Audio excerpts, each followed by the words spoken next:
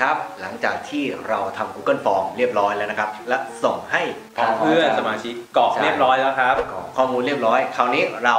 จะกลับไปดูตัว Google Form ของเราเนี่ยว่าได้ข้อมูลอะไรมาบ้างนะครับผมผมก็อยากเห็นว่ากรอกไปแล้วจะไปอยู่ที่ไหนตอบฟอร์มเฟียสไปครับผมจะไปปรากฏอยู่ตรงไหนนะครับผมเข้าที่ Google Chrome นะครับ แล้วก็พิมพ์นะครับ www.google.com นะครับผม ใครที่ใช้เบราว์เซอร์ตัวอื่นก็ได้นะครับ ใช่แล้วครับ คราวนี้กดไปที่ Google Form นะครับผม คราวนี้ก็ล็อกอินเลยครับว่า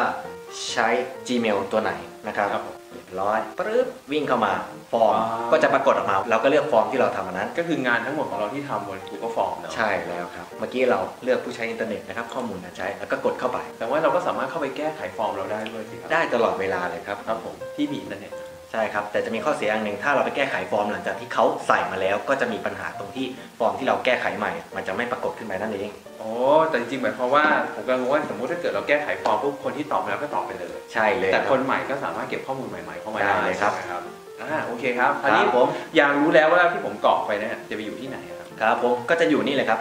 ที่เราทำไปตอนแรกจะเป็นหน้าคำถามนะครับครับผมแต่การตอบกลับเนี่ยก็คือการที่เราได้รับการตอบกลับมานั่นเอง หรือบางทีเราจะเห็นเป็นชื่อเมนูว่า response นะครับใช่ครับผมตอบกลับมากี่คนก็จะมีเลขกำกับอยู่ด้านท้ายนะครับโอ้เก้าคนแน่9คนเลยนะครับโอ้แชร์แหลกล้านเลยใช่เลยครับคราวนี้ก็จะมีข้อมูลสรุปมาให้นะครับว่าใครบ้างที่ครับเราได้ทำการกรอกข้อมูลให้เรานะครับ อันนี้เรานะครับเขียนชื่อลงไปเลยนะครับก็จะมีเขียนชื่อกันมามากมาย9คนนะครับผมอันนี้คือในภาพรวมใช่ไหมใช่ครับ การทำงานสถานที่ทำงานนะครับโอ้โหทำในใจเธอเยี่ยมเลยครับผมคิดได้ครับเดี๋ยวเราเข้าไปดูกันนะครับว่าใครกรอกกันนี้มาฮะนะครับแล้วก็จะมีตัวกราฟนี่นะครับที่เป็นโอ้กราฟเขาสรุปให้เราเลยนะว่ากี่เปอร์เซ็นต์ที่เล่นอินเทอร์เน็ตนั่นนู่นนี่อยากจะดูข้อมูลครับเป็นรายคนได้ไหมอยากจะรู้เลยเนี่ยใครที่เล่นอย่างนี้ได้ได้แน่นอนครับ เราจะมาดูกันเลยครับว่าใครตอบคำถามเราได้ไม่ดี โอ้ครับ อันนี้มีแยกเป็นรายการด้วยใช่เลยเมื่อกี้รับที่เราเห็นคือเป็นแบบสรุปนะครับครับผมงั้นแยกเป็นรายการดูซิแยกเป็นรายการก็จะบอกเลยครับว่า ใครชื่ออะไรที่ไหนทำอย่างไรกับเราบ้างนะครับผมโอเคผมคนแรกเลย คนแรกเลยนะครับทำงานอยู่ที่นนทบุรีนะครับรีชีเล่นวันละ6ชั่วโมงแก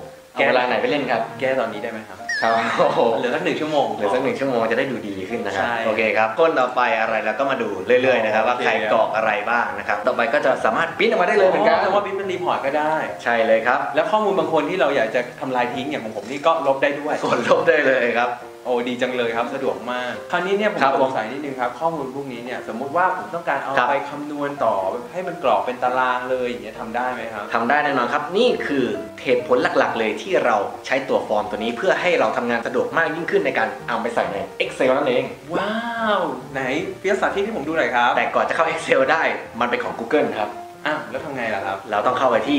Google Sheet ก่อนนั่นเองครับ โอ้ Google Sheet กดไปที่ตัวนี้ครับ โอเคสร้าง spreadsheet กดสร้างนะครับ มันจะวิ่งเข้าไปที่ Google Sheet นะครับผม ว้าว เป็นตารางขึ้นมาเสร็จสับเลย ใช่เลยครับ ผมสังเกตเมนูด้านบนนี่เหมือน Excel เลยนะครับ ก็ใช่คือเลยครับสามารถตกแต่งเปลี่ยนนู่นนี่นั่นได้นะครับ ใช่ครับ เป็นแบบออนไลน์นะครับแต่ บางคนเผื่อไม่ถนัดชอบแก้ใน Excel มากกว่านะครับเพราะความคุ้นเคย การที่เราจะเอาออกมาเป็น Excel ได้เนี่ยเราต้องกดไปที่เมนูไฟล์นะครับครับผมแล้วก็กดดาวน์โหลดเป็นครับ แล้วถ้าดาวน์โหลดไม่เป็นล่ะครับ ก็ไม่ต้องทำอะไรแล้วครับ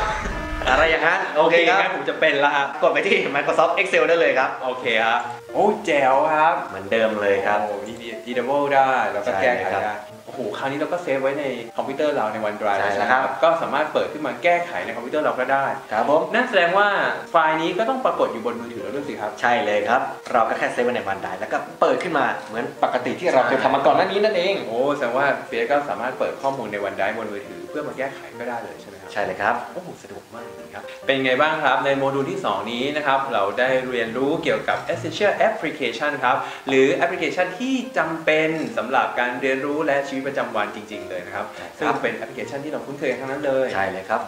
อยู่ในคอมพิวเตอร์มากมาย หรือมันก็อยู่ในมือถือเราสามารถใช้งานได้ทุกที่ ใช่ครับครับผมหลายคนไม่คาดคิดนะว่ามือถือก็ใช้แต่เล่นไลน์คุยโทรศัพท์ใช่ไหมครับผมแต่ก็ผมก็ใช้ทำได้มากกว่านั้นนะครับใช่โดยเฉพาะพวกโปรแกรมออฟฟิศที่อยู่ในชีวิตประจำวันของเราครับครับเรียกว่าครบวงจรเลยเนาะครบวงจรเลยขอครับออฟฟิศเลยครับเอาไปใช้ประโยชน์ได้อย่างมากมายเลยทีเดียวครับเรายังมีเทคโนโลยีนะครับและแอปพลิเคชันต่างๆ ที่น่ารู้กันอีกมากมายเลยทีเดียวครับครับผมอย่าลืมมาติดตามกันให้ได้ในรายการ ICT Easy ครับเทคโนโลยีง่ายกว่าที่คิดครับ แล้วพบกันครับแล้วพบกันต่อไปครับ